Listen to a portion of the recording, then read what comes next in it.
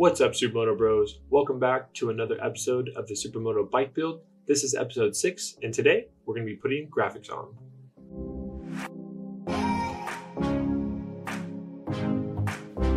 And big thanks to each one of these partners, because without them, this bike build would not be possible. And big thanks to Pro Tech Signs for sponsoring today's video. I know what you guys are thinking right now. Why is he doing a motorcycle graphic video in the middle of the Supermoto bike build video series? Usually that's at the very end or at the very beginning. Well, I did have my annual racing fundraiser last weekend and I wanted to show everybody, including my sponsors, what the 24 race bike will look like during the 24 racing season. So I went ahead and made this video of me putting the graphics on. That way I can show you guys as well. That way you guys aren't also confused when I put the next episode up and all of a sudden I have graphics on. So I figured I would just put it right in the middle of the bike wheel video series so that way you guys can stay in the loop of what is going on with the bike. I just want to thank each and every person that showed up to my fundraiser last weekend because without you guys, I would not be able to do as much racing as I'm able to do. So I'm very, very grateful for each and every one of you guys that showed up to support. And if you didn't show up to support, I still appreciate each and every one of you that support watching my videos or follow along and just you're just a part of the process. So I really appreciate each and every one of you guys. And I'm looking forward to an amazing 2024 racing season. I'm beyond stoked with how this graphic kit came out. It is absolutely unreal, and I'm excited to get some awesome pictures of me riding this bike on the track. I want to take this time to thank each and every one of my sponsors, as none of this would be possible without them.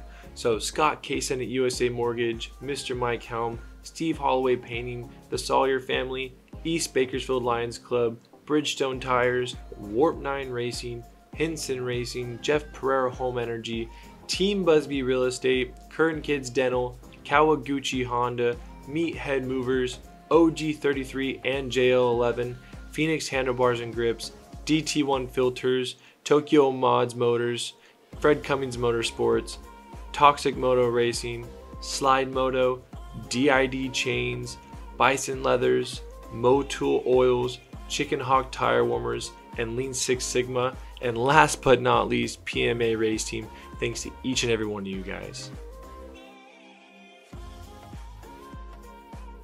As I said earlier, big thanks to Pro Tech Signs for sponsoring this video with the custom motorcycle graphic kit, a custom motorcycle carpet mat, and a custom canopy.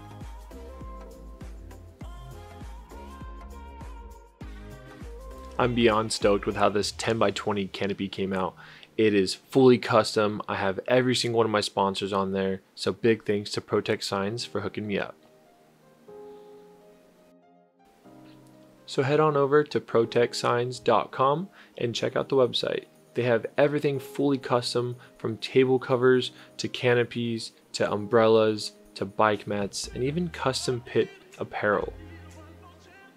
So if you're looking for a great quality product to make your pit look more professional, Pro Tech Signs is the place to go. Pro Tech Signs even did SoCal Supermoto's canopies. If you don't know who SoCal Supermoto is, I definitely recommend checking them out as they have bikes, gear for rent, everything you need to come have a fun day at Supermoto.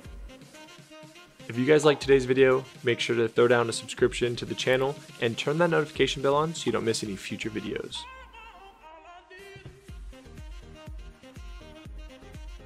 Make sure to leave a like and comment down below and share this video with any of your friends that are building their own supermoto bike.